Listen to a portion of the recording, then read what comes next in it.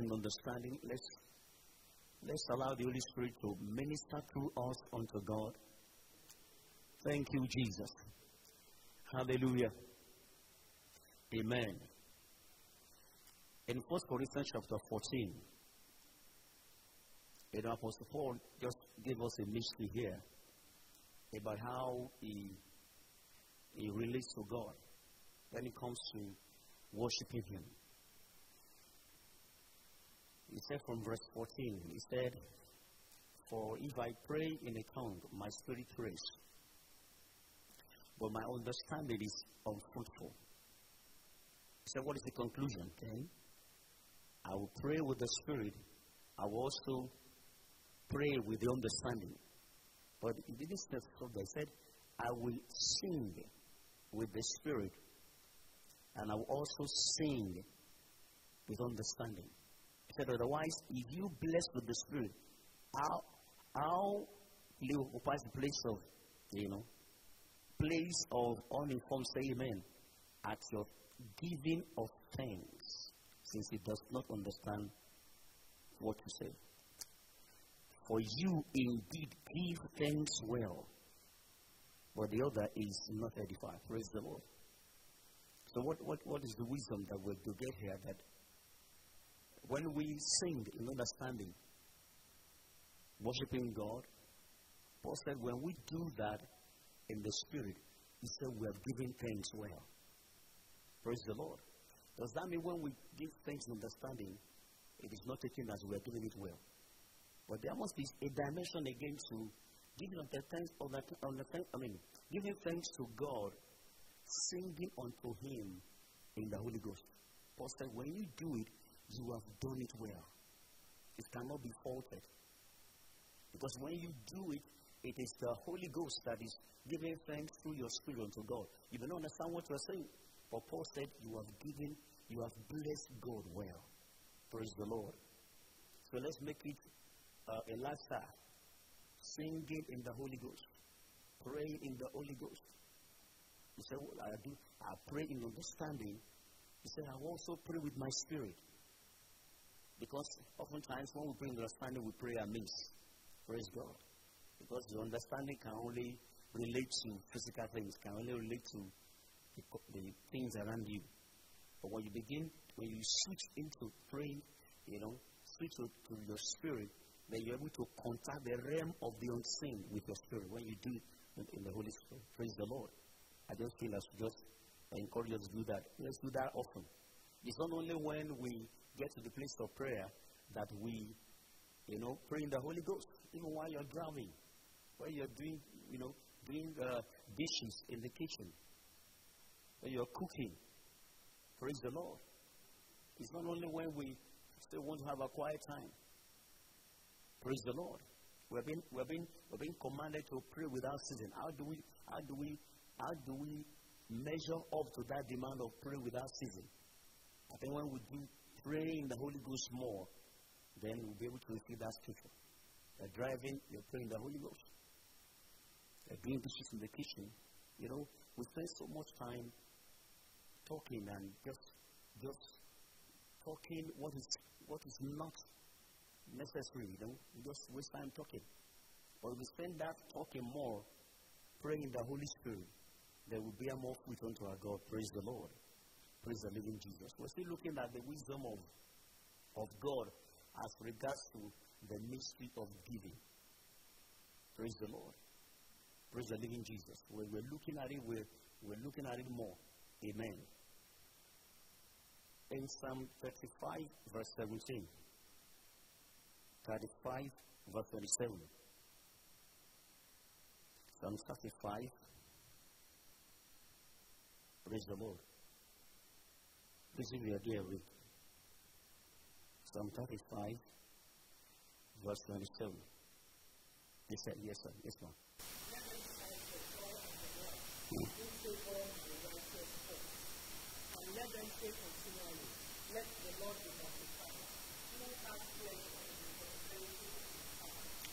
Praise the Lord.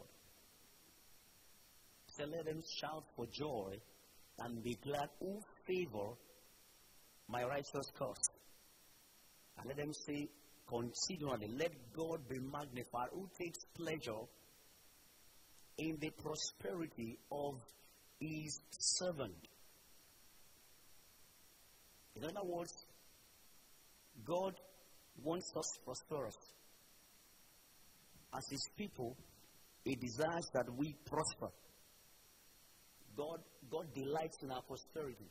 Words, when we're not prospering, God is not excited about, about that. Faith, when we, when we, when we, we're not, we're not seen to be prospering, God is not excited about it. It becomes an issue to God.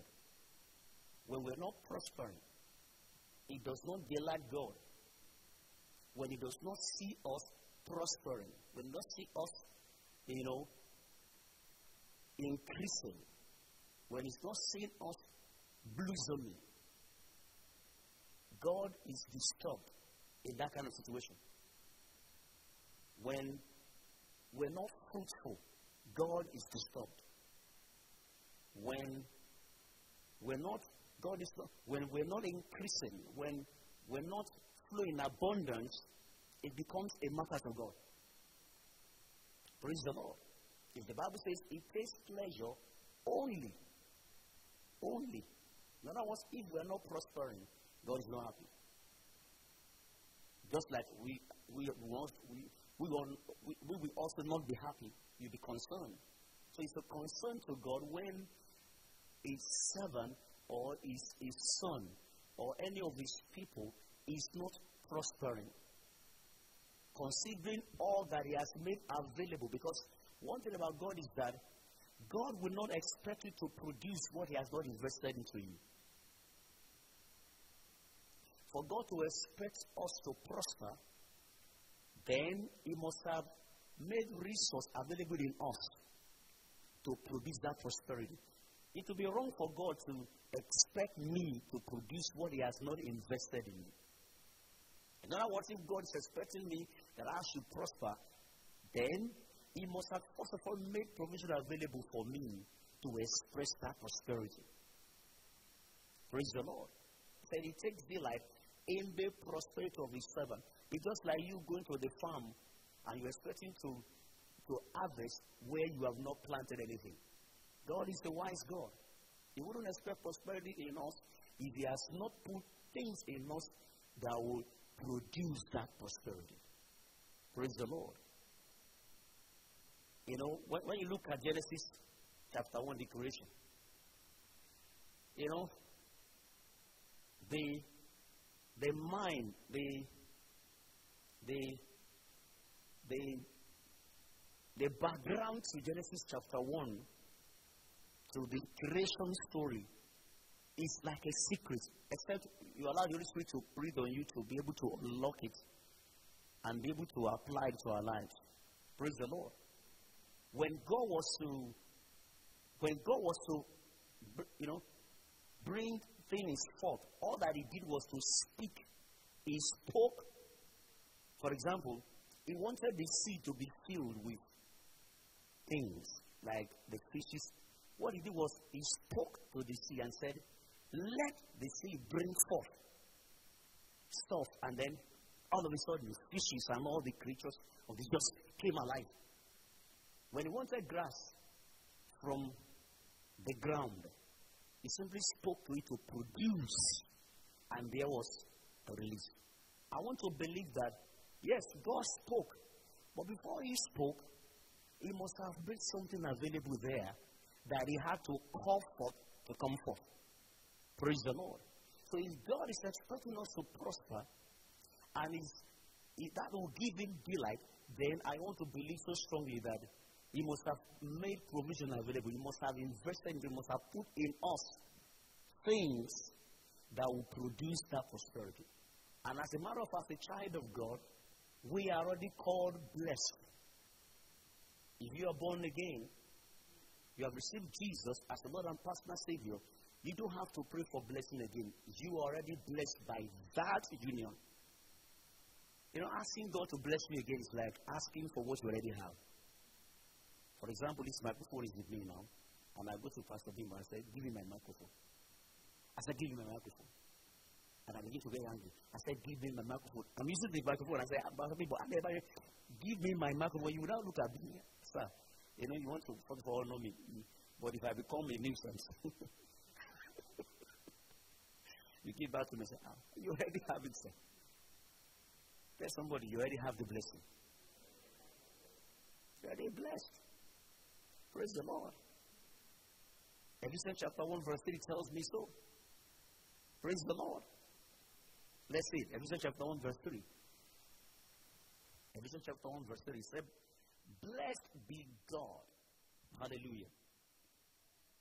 He said, Blessed be God who will, is that what what's written there? Always thinking. Always planning. Always waiting for us to ask Him before He will bless us. Praise the Lord.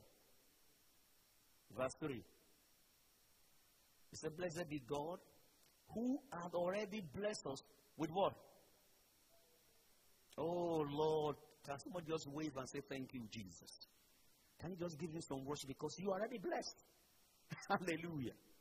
Then just, just, just, just let's, let's just thank him because we are already endowed with the blessing of God. Hallelujah. You know, this scripture has a way of just getting me intoxicated, just getting me excited. Anytime the Holy Spirit can just return my heart, I, I just, I just, I just begin to wonder what, what is it that, what, how, how much God has loved me. Say, blessed be God, the Father of our Lord Jesus Christ, who has blessed who has blessed us with every spiritual blessing. Hallelujah. In heavenly places in Christ. So if you are in Christ, you already have every spiritual blessing in heavenly places has been downloaded into you. You already have it.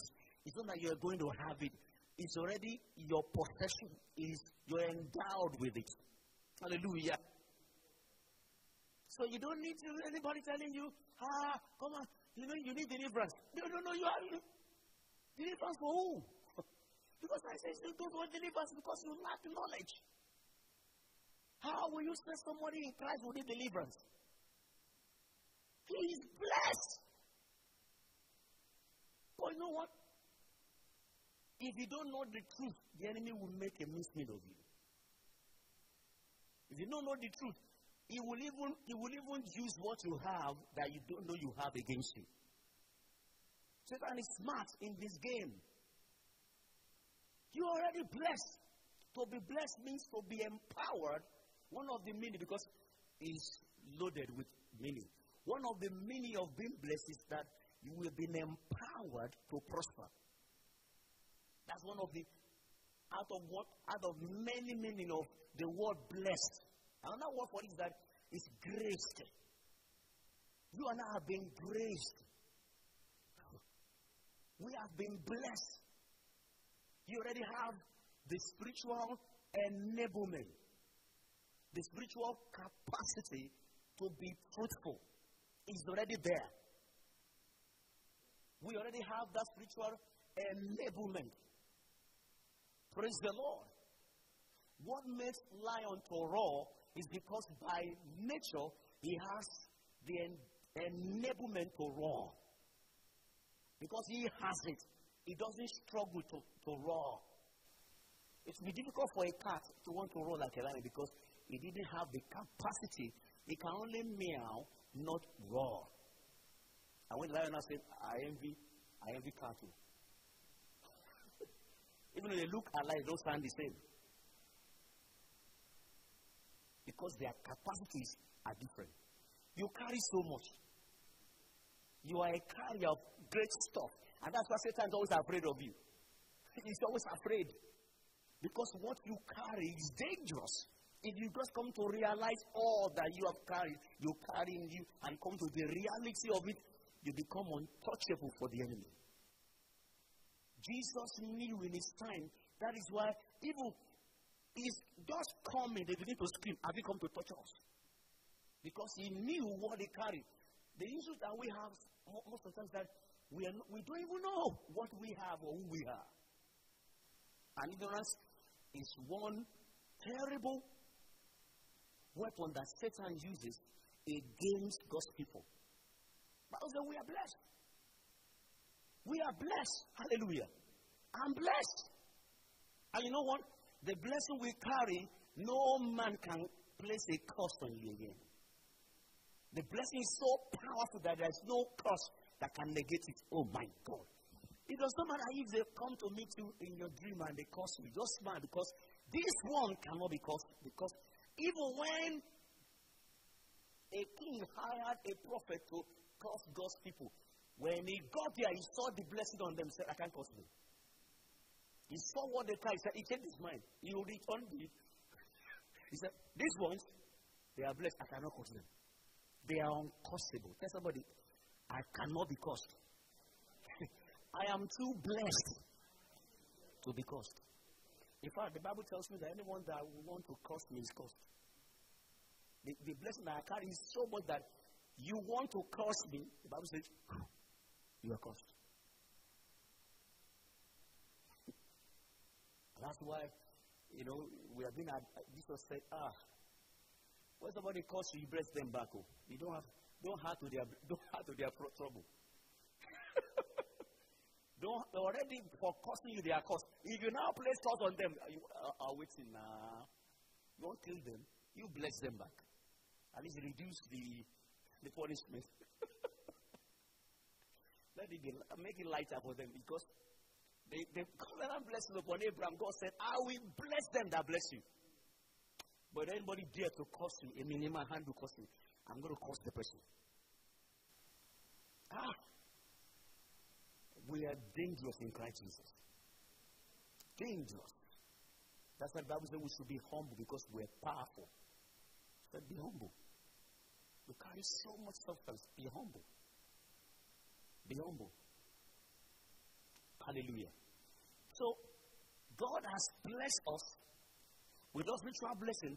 That is why He would expect that we prosper and He takes delight in our prosperity. Hallelujah. Now, how how do we how do we now balance it now? How do we operate under the blessing? Praise the Lord. It's just like a child that is brilliant, but if he's to go to school, his, his brilliance will be, will be wasted. Praise the Lord. If a child, is, somebody is brilliant, he has capacity, but it is not, that capacity is not, you know, it is not challenged. It's not put to work. Even though he has the brain to become a doctor, he may end up being a conductor. Even though he has the capacity to be a doctor, so if he does not function, if he does not work it, if he does not work it, if he does not pass, place demand on that thing that he has, even though he should, that endowment should better his life, he may turn out to be the worst of all men. Praise the Lord. So, how do we function under the blessing that we might be able to translate that spiritual thing to physical fruitfulness? So that we begin to see now. It's, it's a spiritual thing. But when you carry the blessing of God, there should be the effect of it. The effect of the blessing is the physical things we see. Praise the Lord. The riches, the, the and other things, wealth, influence is part of the blessing. Hallelujah. That's the physical, that's material. But there is how we also operate under the blessing that will, that will be able to translate what is spiritual and we seem to have the effect of it in the natural. Praise the Lord. First of all, for us to understand how to function, we must understand the purpose of the blessing first. Why has God blessed us with those ritual blessings? What's the purpose of it? Why has God blessed us? Why? Why does He want us to prosper? Why, does, why, why, why would God want us in abundance? Why? Because we don't understand, you know, the purpose of the thing, abuse is inevitable. So we must understand why would God want us prosper, prosperous? Why would He want us fruitful? Why would He want us? Why would He want us in abundance? Why would God want us to be a person of influence, a person of authority, a person of power? Why would God want us to be a person that will wear so much authority that witches and wizards they bow to us? Why? Because if we don't understand it, then we begin to malfunction. Praise the Lord. Praise the living Jesus. Let's see Luke chapter 12, verse 15. Luke 12, from verse 15. Jesus told a story here. I want to read. He said, And he said unto him, and he said, okay, and he said unto them, Take heed and beware of covetousness, for a man's life consisted not in the abundance of the things which he possesses. Watch. And he spoke a Bible unto them, saying, The ground of a certain rich man brought forth plentifully. And he thought within himself, saying, What do I do because I have no room where to bestow my fruits? And he said, This is what I will do. I'll pull down my barns and build greater. And there will I bestow all my fruits and my goods. And I will say to my, see everything, my soul, thou hast, hast much good laid out for many years. Take thy ease, eat, drink, and marry. But God said unto him, Thou fool, this night thy soul shall be required of thee. When, when, then whose shall those things be which thou art provided? Says, so is he that layeth up treasure for himself and is not rich towards God. Hallelujah.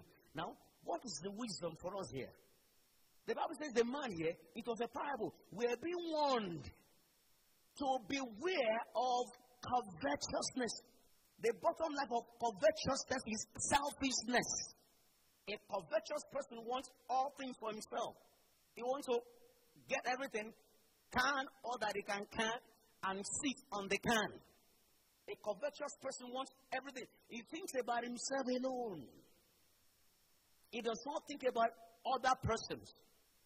He considers himself alone. He wants things for himself alone. It is self, self, my, my, my. That is how a covetous person thinks. And Jesus warned us. He said, Beware of it. That is not the stuff that you are expected. You, you are not made of that stuff. As a child of God, we are made in the likeness of God. You are made in the likeness of God in Christ Jesus. Hallelujah. Praise the Lord. And Jesus said, Beware of covetousness. And he told the parable of this man. Now, this man's ground produced that year beyond his expectation. What came forth from his from that season of, of farming for him, what he put in the soil, that year yielded unexpected harvest. He found himself in abundance that his preparation could not handle. Before the harvest came, he had built barns, storage facilities. According to his own calculation, he had, a, he had an expectation of the amount of abundance that should come. But that year, God embarrassed him with blessing. The Bible says his ground produced plentifully. And you know what? Because he lacked understanding of why God brought that plenty harvest that year, the blessing came. Suddenly, he became the general, the, the, the, the, manager over the blessing that he did not, so to say, expect he be, all of a sudden he became wise. He became the, the CEO. He became the chief planner over God's blessing. you know, that's what we do. It's my money. is my this. But what is it that a man has that he has not been given? What is it that you have? Even the brain that you are using to producing, that you think is because of your brain who made your brain sound? The Bible says he has given us the gift of a sound mind. There's nothing you have that is God. You know, when the blessing came, when the, the, the plenty stuff came, as the abundance came, he started planning and he missed it. He started projecting to the future. Now it's time to build a, a new house. You know, I'm bringing it down to our level now. It's time to buy the latest car in town. I've been seeing that Bugatti and Bentley. it's time to buy the latest in town. It's time to, you know, and in all these plans, God did not feature in it. The giver of the resource. Everything he planned to spend on himself. My. He said he will eat, drink, and make merry, and it does not matter whatever happened anywhere. Bamu bamu la you, I'll be anybody. Once it is well with me, I don't bloody care what is wrong with other people. This man was wicked. After all, the blessing came from God, but as the blessing came, he shut God out of the door.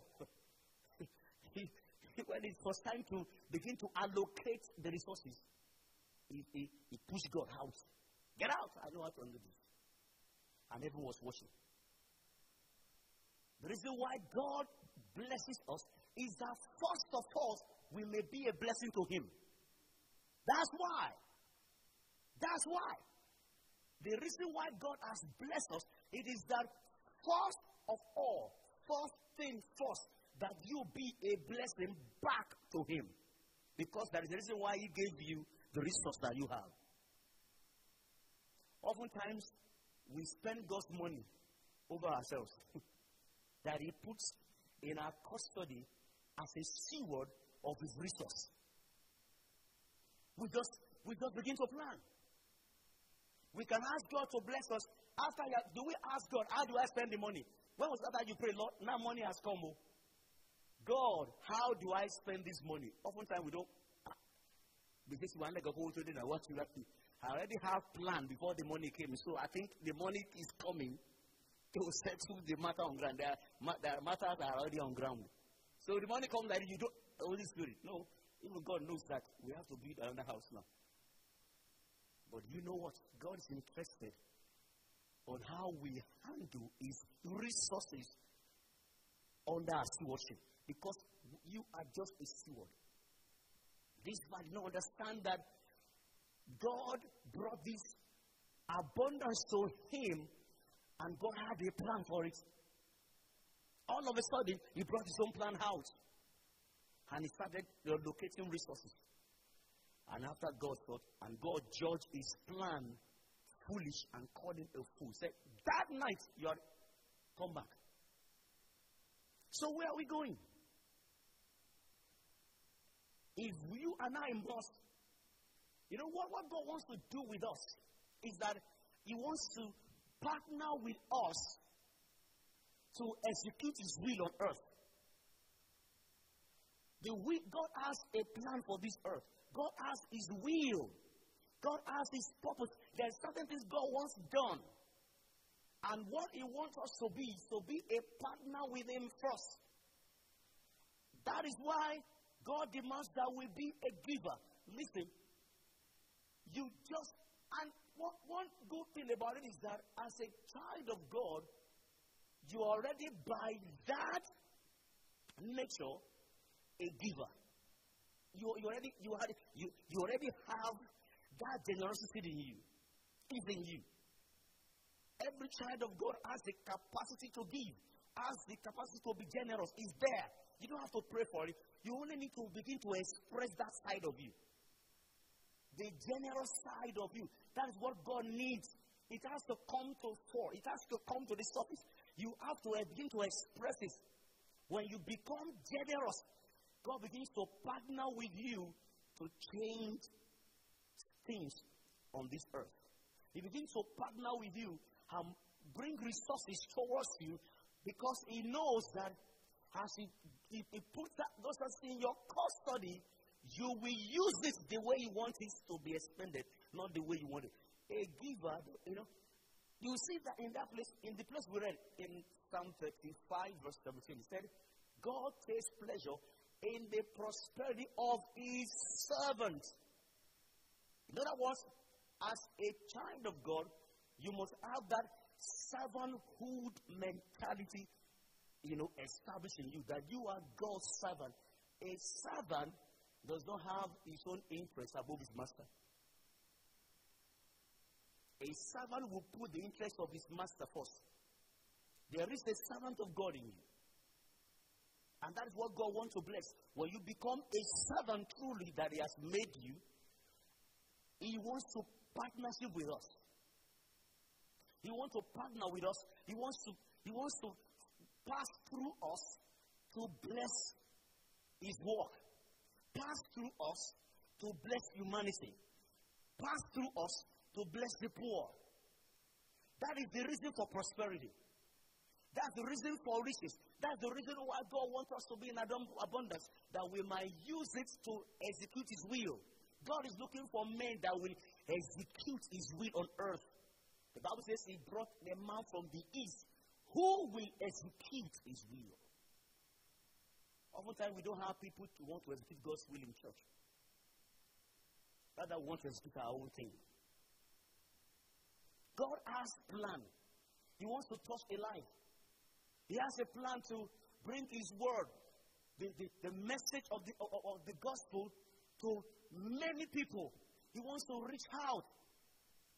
So when you come, when, when you have that thing registered in you that God has blessed me that I might be a blessing to him, that I might be a blessing. It is fundamental to have that understanding.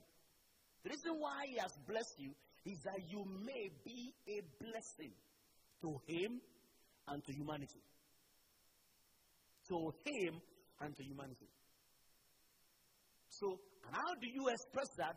You have to be a cheerful giver, a giver. When God finds a giver in you, he, will be, he will be confident to entrust into your hands resources because he knows that you will use it according to his will, not to service your own thing, your own lust, your own ego, your own interest.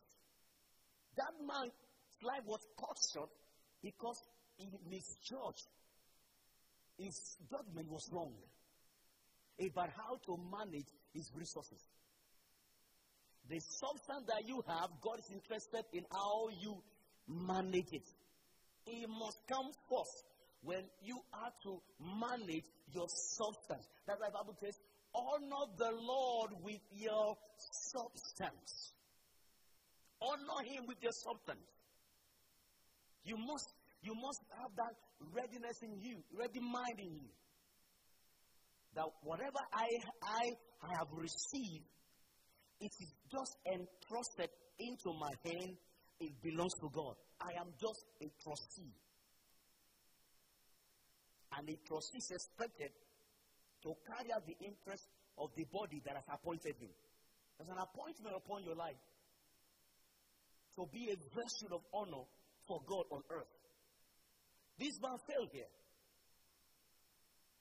So giving is, is, is, you know, why is this nation the way it is today with all the resources that God has given us?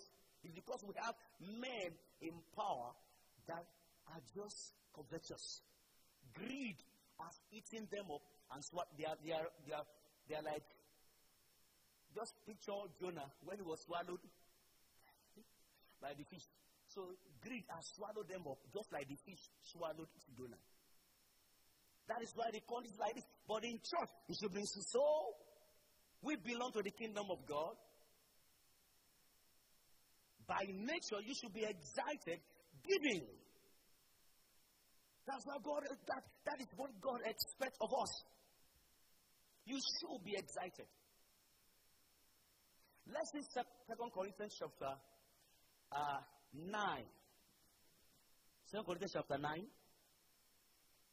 Let's read from verse 6. Thank you, Holy Spirit. Please, if you are there, read. verse 8 is, is, is, you know, before we get to verse 8, there was a, a, a, a line of thoughts that ended with verse 8. But it says, He that, this is the law. It says, He that soweth sparingly shall also reap sparingly. But he that soweth out bountifully shall also reap out bountifully. You know, so let everybody give. Everyone let him give as he has proposed in his heart. And goes on to say in verse 8, he said, For and God is able to make all grace abound. Grace is supernatural strength, a supernatural capacity enablement that God gives that brings that, that, that brings manifestations that natural capacity cannot produce. That's what grace does. It comes upon a natural man to begin to produce things that cannot be produced naturally. That's what grace does. And said God is able to make that grace abound towards a travel giver. When God finds a travel giver in you and I, a giver that gives to God with excitement, that gives not grudgingly, not grudgingly, not by compulsion, but giving to God with understanding that whatever he has received is actually God's resource, is God's own. He is only a steward, who is only a servant, and is expected to expend it as God wants. The Bible says when God finds that person, he will make grace available in abundance for that person that he will always be having. Time. He will always be having in, in, in all sufficiency, in all things. Why? That he may be able to abound to every good work that God will want him to do for him. That's why we make grace available for every good work that God will direct his heart to channel the resources to. That's why grace comes. It is not for him to use that upon himself and just service his own lust, service his own greed, service his own interest. No. The grace is released that that cheerful giver will always be having. He will always be having. It's a mystery. That's this this this thing about giving is, is a mystery. But saying you will always be having. Even in hard economic situation, he will always be having. Even when others are crying and are, in, in serious poverty, he will always be having. It's guaranteed because this is the wisdom of God. He will always be having. Let him put his business in the places where they have economic crisis, his own business will prosper because it's in partnership with God. He will always be having. Let, let him, let everywhere he goes, whether in the field or in the open, whether in the desert or anywhere, he will always be having because there is something supernatural upon him that, that makes him able. Oh God. He just, he just able financially. He just made able. It's a spiritual thing. And that capacity does not come upon a stingy person. And that is why when you have opportunity to give or you become stingy, the Bible says in Proverbs chapter 11 and verse 24, praise the Lord. He said, There is one that scatters, yet increases. He scatters. Whatever he has, he's just he's a distributor of God's resource. He distributes. He distributes to the poor. He gives to his pastor, gives to the church, pays his time regularly, his eyes is, is always out for who to bless. Hallelujah. The Bible says, as he scatters, he will keep increasing. But there is one that holds more than necessary. There is a, there is there is a substance you don't we don't you don't you don't withhold. When you withhold oh, what you're supposed to release, the Bible says it will bring poverty. It is it's not a curse. What is supposed it's just like a farmer that refuses to sow in the planting season. If he refused to sow and decided to eat it, withholding it, eat it up. When the next harvest time will come, he will have nothing. When other farmers are jubilating and celebrating abundance, it will be a lack and penury. That will not be our portion in Jesus' name.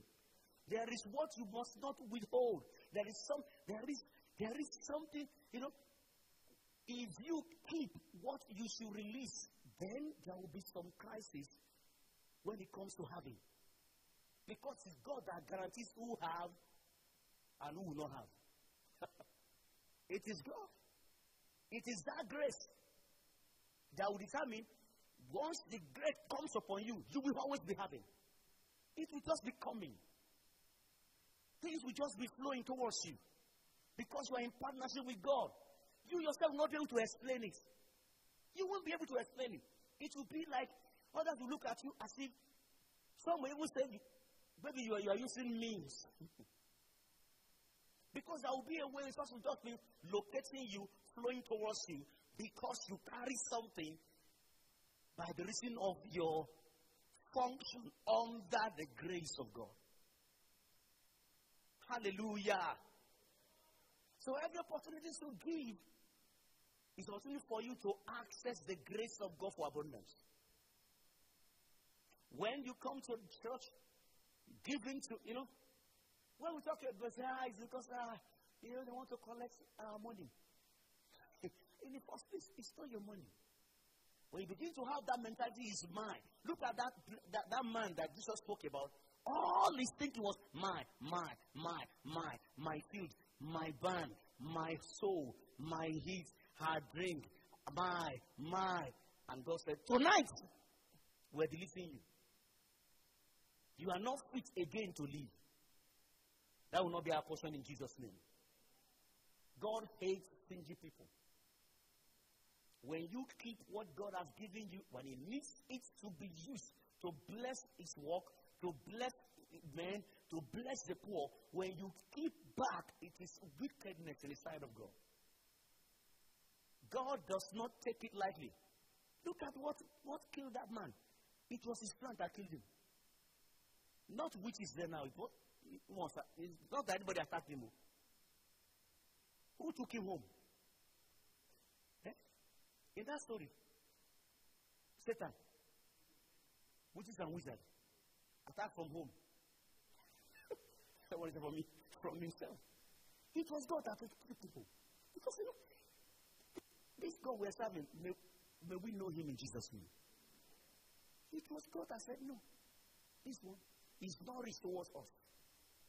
We check his account towards our things, it is zero. God has an account. He has an account. God knows how rich we are towards him. And that's why the opportunity you have, invest your time. The Bible says when you invest your time in the things of God, you are laying treasure for yourself in heaven. There's an account in heaven that you must deposit things inside it. May your account in heaven not be empty. Because when you need to withdraw from it, the Bible says, let nobody be cheated. It is what you sow that you reap. Because when it's time for, if you go to the bank and all that you have in your account is 5,000, and you wrote a check of one million, and say, and you just walk here, I know I'm that's a criminal that will soon land in police. And you put a check there, one million. In fact, when, when the cashier sees one million, so eh, what, what they would expect you first and smile to, to want to check your account. By the time he goes through the and sees 5,000. You know, his countenance was just saying, oh, you lose that respect immediately.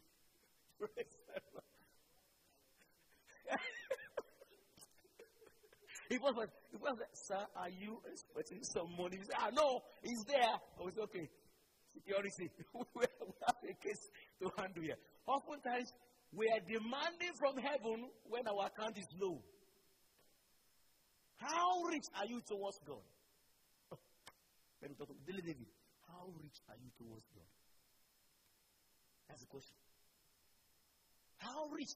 How how how is my account in heaven? How is it? How is it? What is the state of my account in heaven? Jesus said, lay treasure for yourself in heaven. So each time you come, you give to God, you give to his servant, you give to the poor, you know, you are helping yourself. because that is God's own wisdom. Those things are your uh, account uh, details. They give your account detail now. You I mean, someone was asked for my account number. Praise the Lord. Your account detail. If I want to put money in your account, and give me your account detail. So when opportunity to give comes, that's the account detail you have to, to lodge money into. Praise the Lord. You give to the work of God. Pay your tithes. Give good offering. You are laying treasure for yourself in heaven. You are laying treasure for yourself. And you know what? Heaven will when there is a need for a release, heaven will not deny you. Because you have invested in your account. Heaven will not say no to you. I don't know whether you have money in your account and you put your ATM card and you malfunctioning. and you need the money badly. And he said, uh, uh, uh, switch in, in, can you, internet switch inoperative. it's not like you don't have money there. It's resistant. but when it comes to heaven's system, it's ever perfect. It will never deny you what you deserve. But thing is that every day you live, be looking for opportunity to lay treasure for yourself in heaven. By being a cheerful giver of the things of God, giving to the servant of God that is feeding you, giving to the poor. The Bible says when you give to the poor, you are lend, you you are lending to God. you are lending to God. And God will pay you back. But somebody said to everyone that asks you, give.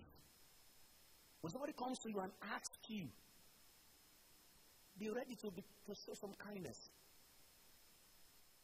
Be generous. Don't say, I don't have. Even when you ask, there is maybe at that time you are low in whatever, be kind. Hallelujah. Because God has wired us to be a blessing. We are programmed to be a giver. That is our make. We can't just stop giving because that is our nature. That's how God has made us. That's the nature of God Himself. So please, no matter how little you have, learn to share. Learn to share. Give what is to be given to God. Give to the poor. Give to the man of God. Give to the things of God. Give to, you know, give to your parents. We're going to break it down again. We, these things we know, but, you know, faith comes by hearing and hearing by the word of God. As we talk more about it, we remind ourselves about it, and then we, we continue to encourage ourselves to live that lifestyle of a giver. Once we have, we, have, we sustain that mode, abundance will be a normal thing. It will just be normal. We will always be having. Sufficiency will just become a, a normal thing. It becomes becomes common. We are just sufficient. We are just having more than enough. I didn't have your amen. I want us to begin to pray as we close. Let's let, let us just think over these things that we have received. And just begin to pray in the Holy Spirit. Just, just, just pray in the Holy Ghost as we start to close this evening. God loves the cheerful giver. Why? Because He wants to partner with Him to get His will done on earth. He wants to pass through Him to bless His work. He wants to pass, pass through Him to bless the poor. He wants to pass through him to touch a life. He wants to pass through him to make things happen on earth. Just begin to pray in the Holy Spirit, pray in understanding, and receive this word with faith. Receive it with faith and declare, I am a cheerful giver. I am a giver. God has wired me, has made me a blessing. I am a blessing. I am a blessing. I am a blessing. The blessing of God is upon me that I might be a blessing to Him, that I might be a blessing to His work, that I might be a blessing to the poor, that I might be a blessing to His servant, that I might be a blessing to humanity. Just declare it in the name of Jesus. Declare it, I am a giver. Yes, yes, you are. Yes, you are.